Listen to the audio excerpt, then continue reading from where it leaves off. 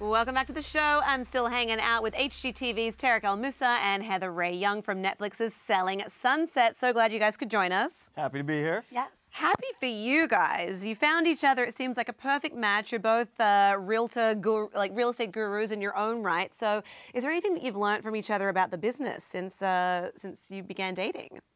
You know, we work in totally different worlds. So I'm like strictly on the investment side, and she sells these like amazing, Amazing, crazy, yeah. you know, 5, 10, 15, 20 million dollar houses. So it's like two different worlds. So Mm. we love sharing our stories with each other because they're totally different, but they're both real estate. Yeah. Actually, Heather, talking about all the beautiful properties that you sell, we have a thing in Australia called mates rates, where, Okay. you know, if you're friends with someone, you Oh. get a discount. So, uh, can I get a discount on like a $20 million property? Come out to California with me. I'll take you home shopping and I will hook you up. Fantastic. Thank you. You're my new mate. Thank you. Thanks, mate. Now, when it comes to romance, what do you each bring to the table for each other? And you are in that honeymoon period, which is the best period. How do you make sure that it lasts? You know, we've been spending a lot of time together, and obviously we've been recently dating, and we just have so much fun. Mm-hmm. Yeah. So after all the hardships I've experienced, and there's so many ups and downs in life, that sometimes having fun is like the best medicine. Yeah. So we really focus on having fun and living life and just enjoying each other's company and Yeah. going out to dinner and going boating. And I'm talking too much because I'm excited.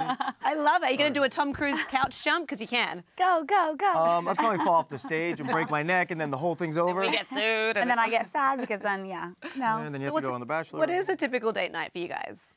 I mean, we just like to do normal, fun things together. We go to dinner, we watch movies. What else? Yeah. I've, he's been coming to LA. I've been going down to see him. Yeah. Yeah. I- I Um, sent my boat up to LA a couple weekends ago. Surprised her out Yes. there. He's been very romantic. Wow. It's been very amazing. oh, I love that. All happiness and smiles. Yes. Yeah. Well, we saw that on Instagram when you made your relationship Instagram official. Yes, so we it's did. official. It's Let's get that picture. That is so funny. Instagram official. We were, Aw. we were laying in bed last night, and I was like, I, first time I had thought about it, I looked at her, I'm like, this is so cliche. She's like, well, I'm like, we're like two reality stars that are now together. Are we like the first people on reality TV to ever do that, or like everybody does You're that? groundbreaking. No, now you're going to change your Facebook status to in a relationship. Like there's a whole process. Oh, process. we haven't done that yet. steps. What are you waiting for? I don't know. Sorry, babe. What are you doing?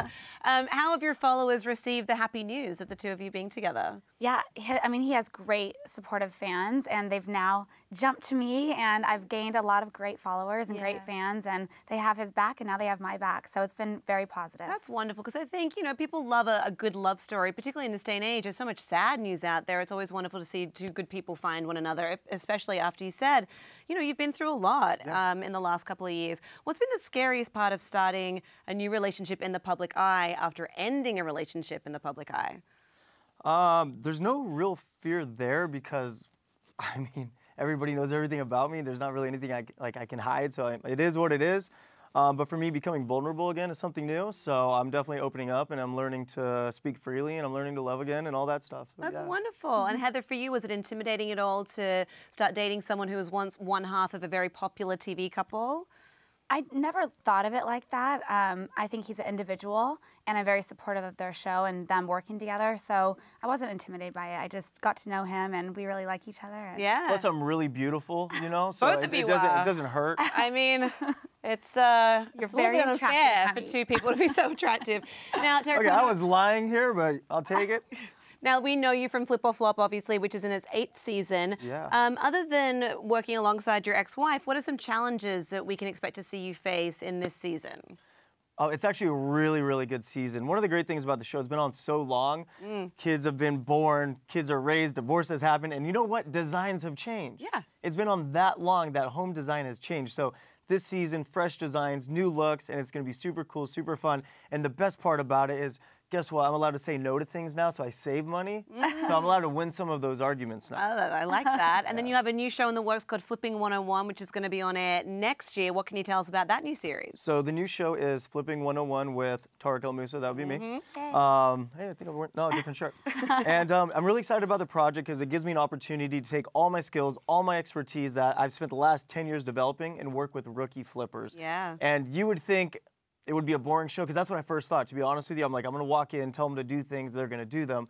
And I was totally wrong. I shot the pilot. I'm like, okay, you have to do A, B, C. And I come back, they did Z, X, Y. It's like, what are you doing? Like they try to turn the garage into a party pad. I'm like, what are you doing? You don't put it.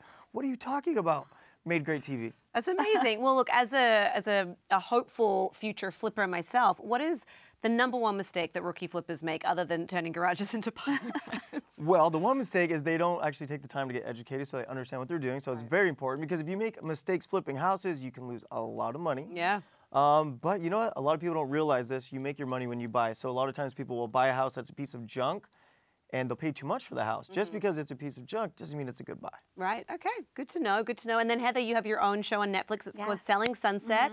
Guys, you can go and watch the entire season right now. How are you enjoying your life as a realtor turned reality star?